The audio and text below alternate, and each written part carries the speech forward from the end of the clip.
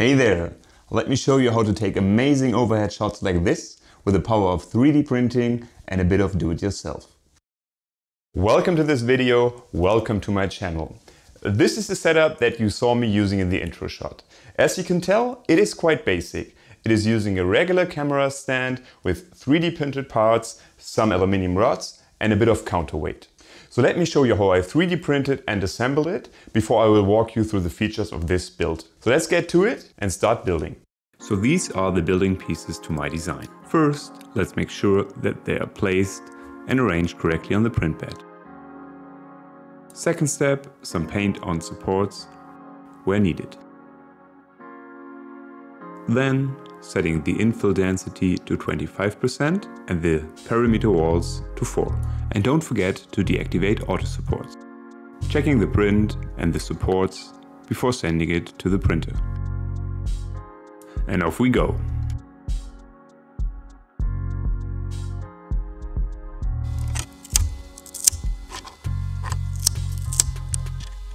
First, let's assemble the camera mount. To attach the lever we need an M3 hex nut and 8mm screw. The bearing is simply put through the lever and screwed in place safely. As a next step, we are inserting an M5 hex nut on the back side of the camera mount. Now, the front and back side of the camera mount can be screwed together with M3 screws. The mounting plate for the camera is held in place with a lever. Final step in the camera mount assembly is preparing the holders which will hold the camera mount on the aluminium pipes. Next, preparing the central locking mechanism which attaches the overhead shot rig on any regular camera stand. I've cut a 50mm and a 12mm aluminium rods to 100 cm and 80 cm, which I'm attaching to the central locking mechanism and the camera mount. Lastly, I'm preparing a counterbalance weight holder as well as a power bank holder. Everything is screwed in place nicely with M3 screws final step of the assembly, simply sliding the counterbalance weight holder as well as the power bank holder over the aluminium rods.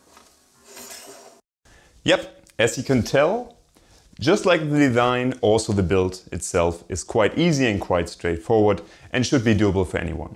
So let me now walk you through the four main features of this camera jig. First, most importantly, the camera holder itself. It allows you to simply detach and reattach the camera.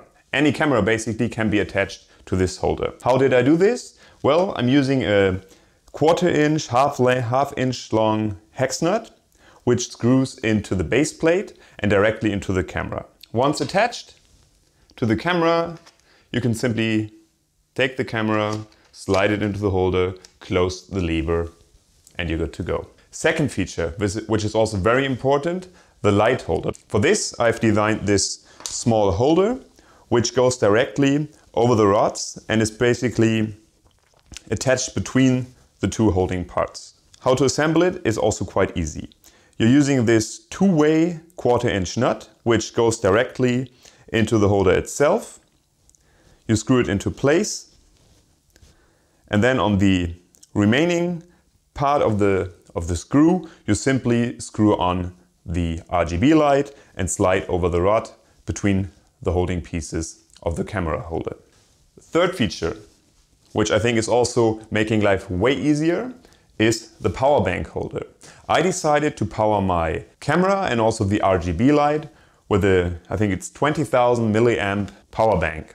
This gives me the freedom that I don't have to constantly change the built-in battery of the camera and also the light itself. So it can be slid in and out of the holder. And lastly, very important, as with any jig, you need to have a counterbalance weight, a proper one. Because with the long arm like this, the pressure of the camera and the RGB light on one part needs to be balanced out.